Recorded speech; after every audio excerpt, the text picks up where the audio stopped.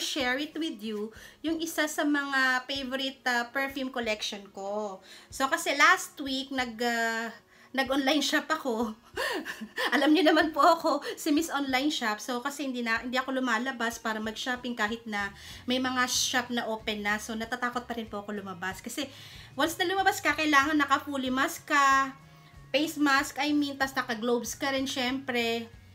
At tapos, pag uwi mo sa bahay, kailangan yung suot mo, ilalaban mo agad or talagang maliligo ka agad. So, kaya hindi po ako masyadong lumalabas para mag-shopping sa labas. Kaya, ang ginagawa ko po is online shop yo. So, uh, kaya nga, last week, yun nga po, nakapag-online uh, shop ako kasi uh, may sale po sila, yung isa sa favorite website online shop ko. Kaya, uh, naengganyo ko or I grab the opportunity na bilhin yung isa sa favorite perfume brand ko. Kaya gusto ko pong i-share sa inyo. Siyempre, it's just my happiness na gusto ko lang pong i-share sa inyo. Ayan, i-unbox na po natin siya guys kasi dumating po siya kahapon. Ayan. Hanap tayo ng gunting. Ayan. So, eto po siya. So, actually, dalawa itong in-order in ko. Kasi yung iba halos out of stock na dahil talagang nag-sale kasi sila eh, ng 30%. So kahit papano, pwede na, ba? Kaya yun lagi kong inaabangan kasi sa online shop kapag kami nagsa-sale, ganun, talagang I grab the opportunity. Kahit minsan meron, na, meron pa ako nung item na yun or brand na yun, kapag ka nag-sale sila, talagang bibilin ko. Kasi syempre, parang nagko-collect nga po ako eh, kaya ganun. Tapos, Last month, ito po yung binili ko. Sa online shop din po ito. Ayan, so Tommy Girl, Tommy Hilfiger. Uh, isa rin po sa isa, isa rin po ito sa perfume collection ko. Last month ko lang to binili kasabay niya isang ano i-show ko sa inyo. Pero ito, ayan, so ayan, syempre nabawasan ko na kasi ayan. So Tommy, Tommy Girl. Ah, ayan, Tommy Girl. Ito po yung isa sa perfume collection ko. Mabango din po siya. Naglo-long lasting po din siya. Tapos, ito rin po yung isa. Ito naman yung Boss perfume Pem, Pemin. Pemin Boss. Last month din kasabay siya. Pero hindi po sila on sale.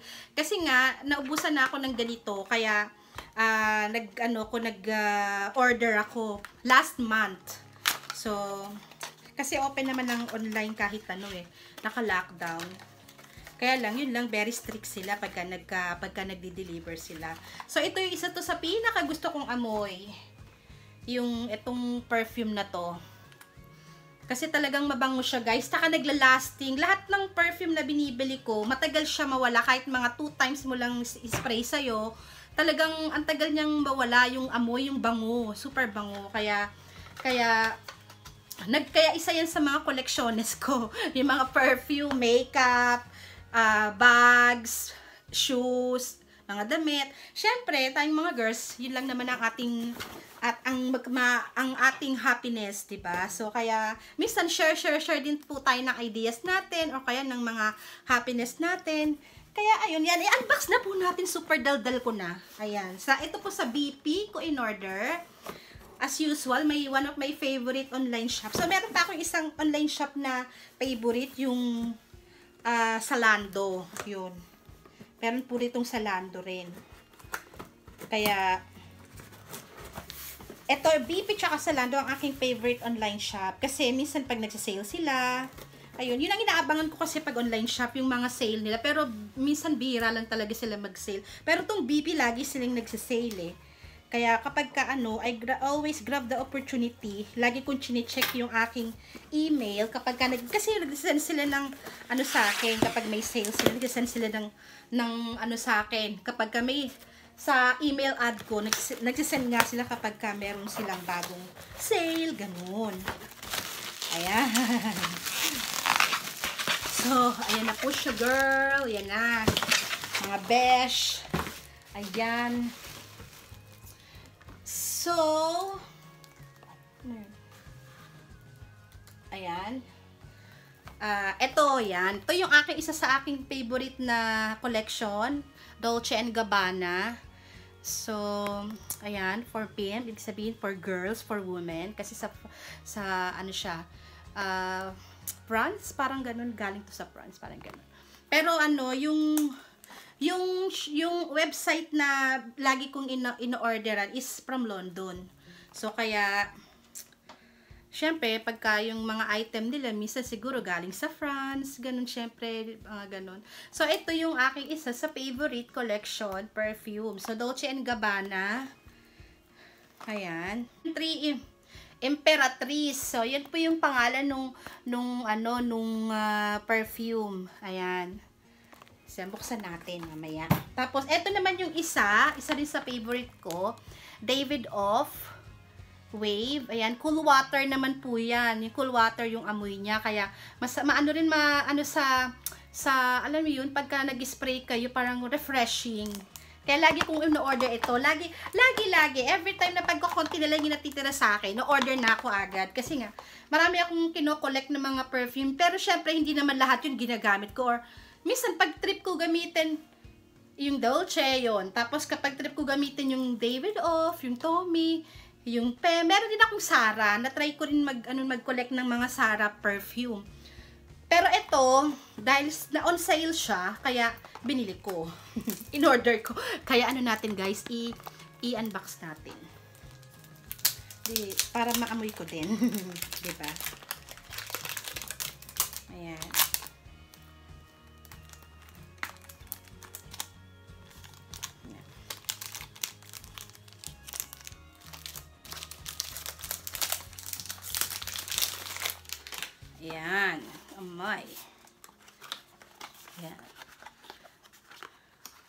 Bagong-bago. Fresh, fresh, fresh. Ayan. Ayan, guys. So, ito siya. Ito siya, guys. Emperatrice. Saan tama ba? Oo, oh, Emperatrice 3 Emperatrice. So, ito yung pangalan niya. Dolce and Gabbana. One of my favorite collection perfume. Ayan natin. Ano kaya? Hmm, bango guys. Hmm. I-try natin. Oh. Oh my God, so so good smell guys. Always. Alam niyo naman ang Dolce and Dolce ang Dolce and Gabbana lagi siyang mabango. Lahat lahat halos ng perfume na Dolce and Gabbana super super bango talaga.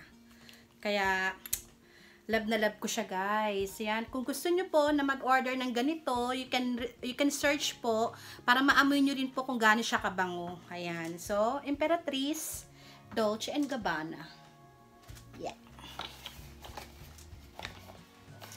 Ayan. So, ang bango niya, refreshing. Hmm, super super duper bango, guys. Promise. Super super duper bango social, 'di ba? Hindi rin kasi mura yung mga ganito. Hindi mura yung mga ganitong brand, 'di ba? Kasi talagang good quality siya. Or good quality nag-touch na ako ay, ay nag uh, as in good quality siya kaya talagang talaga kaya talagang mahal din siya kung tutuusin. Kasi nga syempre may pangalan, minsan yung pangalan din ang binibili natin. Pero at the same time, yung talagang quality niya, yun po yung talagang minsan nagpapamahal sa mga brand na ganito. Ayan. So, super, super, super bango guys. Super bango. Super, super, super bango. Wala akong masay. And now, ito naman tong David, David Op Cool, cool Water. Naubusan na kasi ako ng ganito. Ayan. So, Pang casual lang, 'di ba, guys? Pang casual lang. Perfume. Always smell good rin naman kapag yung David Oak na cool water. Super, super bango din siya. Ayan. Tapos mo. Ayan. David Off. Ayan, guys. David Off. Ayan. So, ito yung cool water yung scent niya, super super bango. Ayan, naghalo-halo na guys yung aking ano, yung aking aking amoy. May Dolce, tapos merong merong David Off. Ayan. So, etong David Off mura lang siya kasi kung tutuusin, no not really mura, pero para sa akin uh, mura siya kasi lagi silang nagsi-sale. Pero ano siya, ma mabango talaga siya, mabango lagi. Laging lahat halos ng nabibili kong David Off uh, mabango siya. As in, refreshing talaga yung ano, yung amoy niya. Kasi yun ang gusto kong mga perfume. Ayoko yung nakakahilong ano, nakakahilong perfume. Alam mo yun, yung ba minsan merong perfume na talagang ah, ang sakit sa ilong, ba? Yun. Kaya ang mga ang mga collection ko ng mga perfume, ano, um uh, yung syempre pagka nagko-collect ka, minsan hindi mo naman iniisip kung ano presyo nila basta uh, ma basta naglo-long last yung amoy, yun ang gusto ko. Pero alam nyo guys, nung, nung nasa Pilipinas ako, ang lagi kong pabango dati, nung nag-work na ako or nagtatrabaho na ako, yung ano, Avon, yung Paysets.